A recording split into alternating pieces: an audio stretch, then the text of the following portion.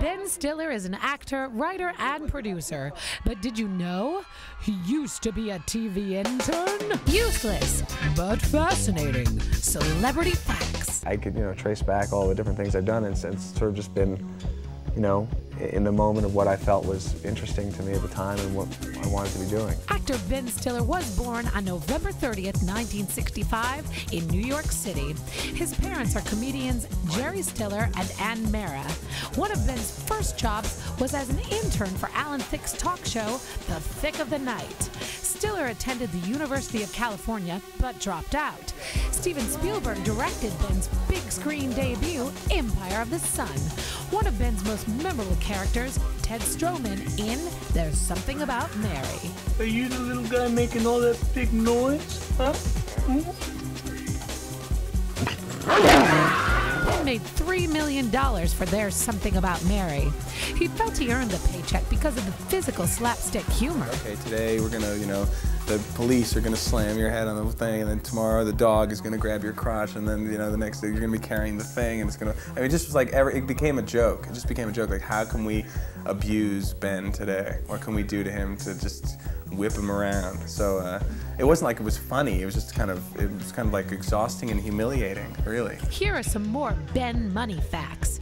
In the 20 years since its big screen debut, Stiller's movies have grossed more than $3.4 billion globally. He earned more than $38 million himself one year. Because he's a Star Trek fan, he named his production company Red Hour Films after an alien riot featured in an episode of Star Trek. Stiller directed four movies, including Tropic Thunder.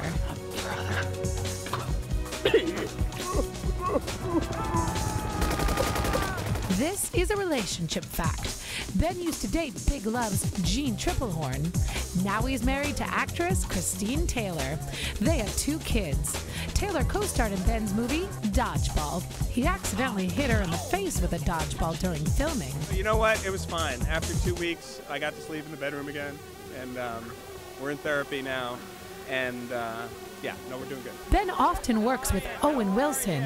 They've made eight movies together. It's great because there is a looseness and um, you know there's a certain um, comfortability that you have with each other because you um, you know you just know each other and you can try things and you feel free to try things, which I think is really important in a movie. You want to be able to feel like you can take some chances and not necessarily uh, be good, you know, and, and that, that comes from uh, feeling comfortable with who you're working with. Ben's animated feature Madagascar Escape to Africa topped the box office its opening weekend. Stiller's two kids voiced characters in Madagascar Escape to Africa.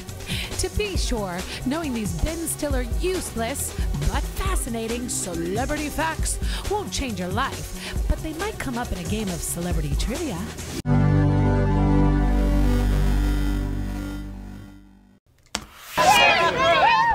Academy Award winning actress Catherine Zeta Jones has been voted the celebrity with the most perfect female body and People magazine's most beautiful person in the world. But did you know she's afraid of turkeys? Useless